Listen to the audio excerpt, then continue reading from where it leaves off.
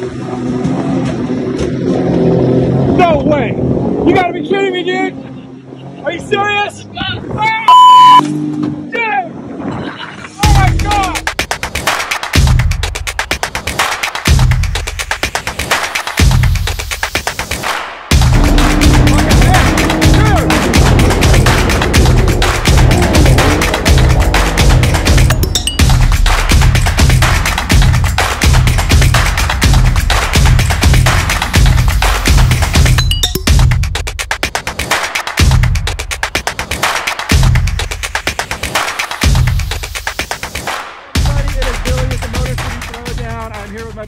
Joey Yantis, dude. I am giddy about what we're doing today because I thought about it all weekend. I talked to Joey last week and he goes, hey man, I got something really cool for you to check out.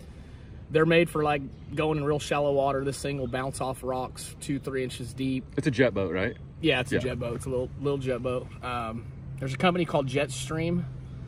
I think they're a Canadian company. They, they built they build a ton of them. Uh, if you go to Facebook and type in mini jet mini jet boat classifieds, you'll see quite a few of them. Yeah. Uh, they range anywhere from thirty thousand to eighty thousand Oh, dollars. God. Yeah. Yeah, they're This one's kind of compact, right? It looks like it's really maneuverable. Is that right? This one's actually a bigger one. This one's a 14 footer. The, the more common ones are like the 10 and 12 footers. The the 10 footers are mainly two seaters, and the 12 footers are four seaters.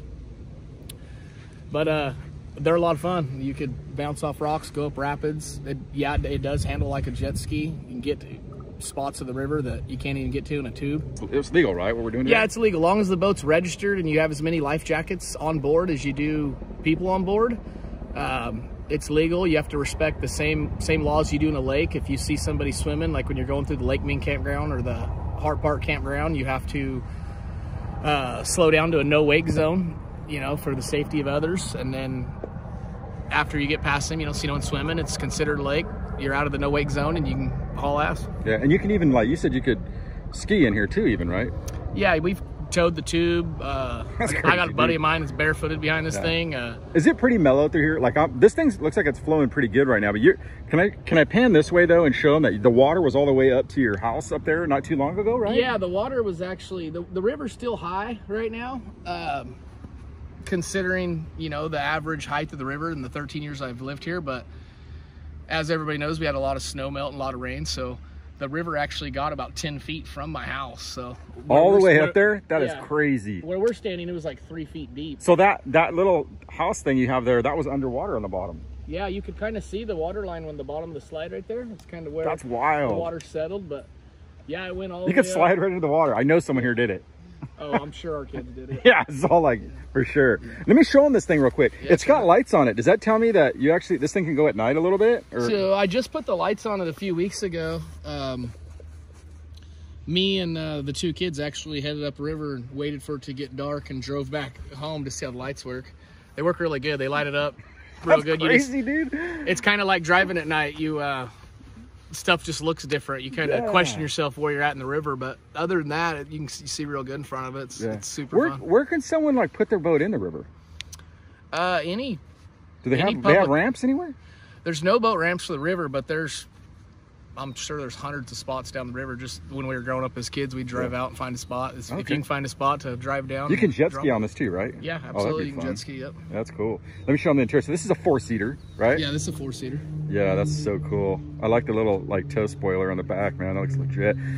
Yeah, so good. half inch. Uh, it, this one's got a 3 16 bottom and it has half inch UHMW plastic Okay. that actually bolts to the hole, and uh, that helps you bounce off rocks and not stick them and slide across the rocks and stuff. Yeah. But you can see it. So the hole is made out of it's not fiberglass, it's actually like No, this like whole composite boat. This whole boat's aluminum.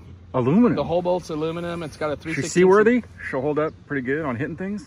Oh yeah, dude. We've we've hit stuff so hard where I was like, I got we got to go back put on the trailer. I'm sure there's a hole in it. Get it on the trailer and look at it. Like, no, there ain't no hole in it. So Yeah. they're they're built solid as a rock. Dude, that is incredible. I'm looking forward to it. And uh, I can't wait. Like I said, I've been excited all weekend thinking about this, and I'm sure it's going to be cool with you behind the wheel, dude. So Yeah, it's, it's a good time, dude. We'll Let's- go up. We'll let's- find some mild rapids and yeah, cruise the river. I love it. All right, let's do it. Who's riding today? Uh, my name's Chloe Cotton. Okay. Uh, so, gonna go rip in the river. All right, and Janelle Yantis. yep. Of course, we got Joey over here. Now, what kind of motor does it have in it? It's got a supercharged Sea-Doo jet ski motor in it. It's a 215 horse supercharged jet ski motor. Oh, okay. Awesome. I love this, dude. It's so compact. Like my arms is hanging out the side. So when we uh, when we get going, you're probably not gonna be able to hear. Oh, it's loud. Yes, it's loud. So okay. if we want to talk about it more, there's a couple spots that we could Yeah, beach let- and hang out. yes, I'll let- I'll there's let a you- badass fishing hole that we never knew we found the other day. Like you can catch.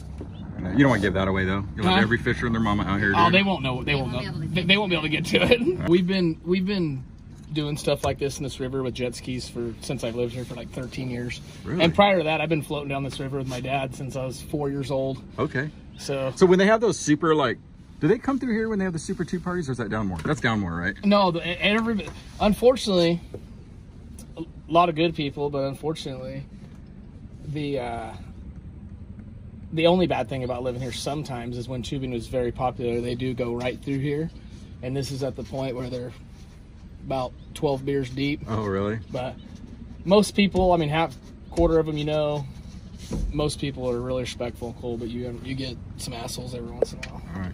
Fire and the hole.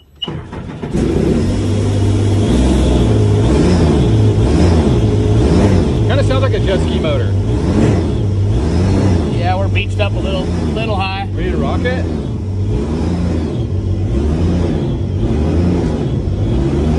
Everybody rock it. I think we're going. We got, it. This is awesome. So we're gonna go up river. Right on the other side of this bank, that's Lake Ming. On the other side of that bank. Yeah, 100 yards on the other side of that bank, that's the the uh, west end of Lake Ming.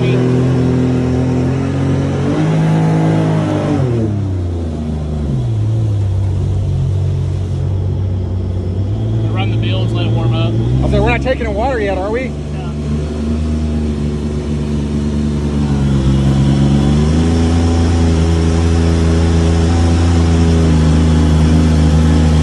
You let it sit right there on shore. It'll take in water a little bit through the jet and a little bit through all the HMW that's uh, drilled and capped on the bottom. So I feel like we're, we're moving pretty good, but we're just kind of stationary. now we're just chilling. That's how fast the water's moving. Oh, wow. All right, here we go.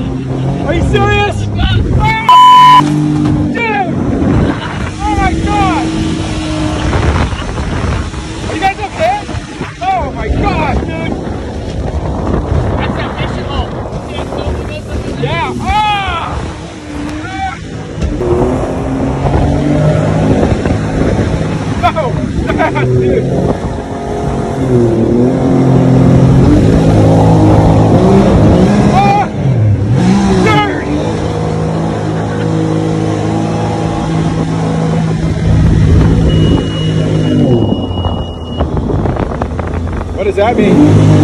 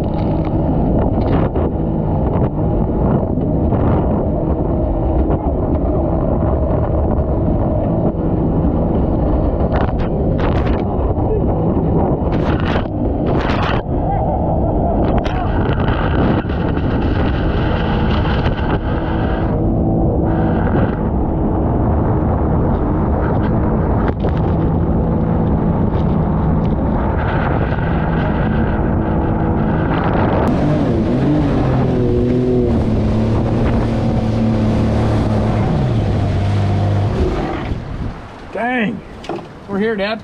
Dude. So we have stopped at one of your favorite little, it's pretty cool. It's like a little island with a lagoon in the back, right?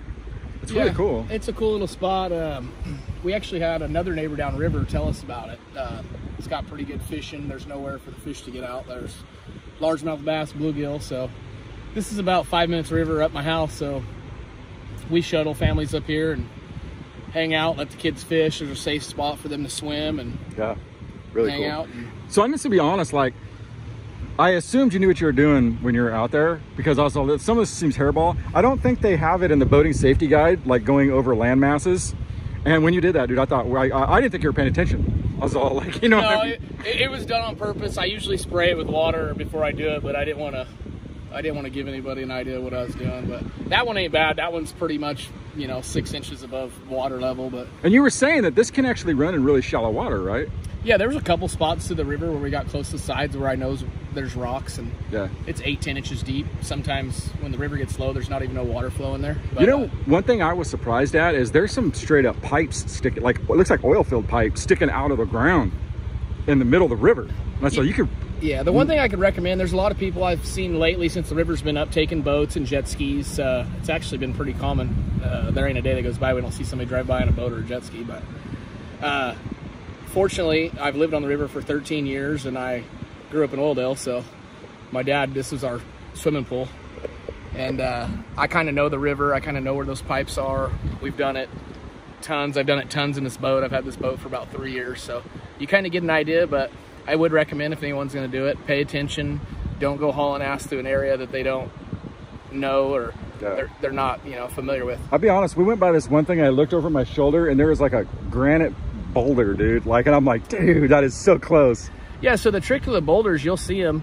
Sometimes it's deceiving. Like that boulder, we've seen it probably still had six inches of water above it, but you could always see them because the water will start curling Okay. over them. So if you see like a sharp curl in the middle of nowhere, you know there's a rock. So you, you veer away from that Yeah. area until you go and check Good. it out. And if it's cool to jump with the boat, then you jump it with the boat. But The one thing I love about this is that I love the way it sounds, dude. Like, there's something about it. It's got that aluminum clank to it. Like when it hits every little, it's awesome. yeah, that might be the oars up in the bow. But uh, Oh, okay. Yeah, it still has aluminum clank. Uh, it's got a supercharged 215 horsepower jet ski motor. We were going downriver about 45 miles an hour, but it's just they're just old beaters, dude. They're they're fun. I mean, you're not going to keep one in mint condition unless you just idle down the river. But if you do the stuff that we do and rail through trees and Yeah. you know, hydroplane islands and stuff, they get beat up. So it's fun. You, you use them for a couple years, they get beat up, and then you kind of give it some attention and then use Yeah. it for another couple years. They're pretty much bulletproof. You can do anything you want to them.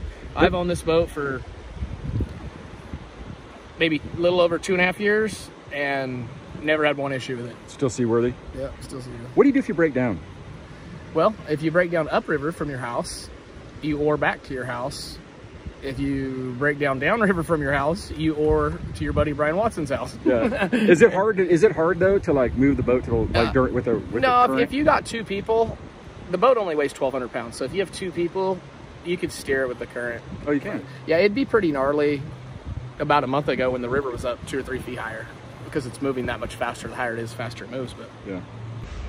Well, I got to tell you, Joey, I've done a lot of stuff with the Motor City Throwdown and BTUFF over the years, and this might top the charts as like some of the most funnest stuff I've done. I did not expect it to be this fun, and I, I'll tell you, dude, thanks for showing me this. I'm sure a lot of people are going to think this is really cool, and if your inbox blows up, don't blame me, dude, because they're going to want to probably know what's going on. But this is so much fun. How really cool, and I hate to use the word special, but how really special the Kern River is, man. You get a new respect for it when you see how powerful this whole thing works. yeah, the Kern River is awesome. You, you have to have respect for it. I mean, I make sure everybody gets in the boat. I make sure we have life jackets. Uh, we're courteous to the people in the campgrounds. We make sure we don't.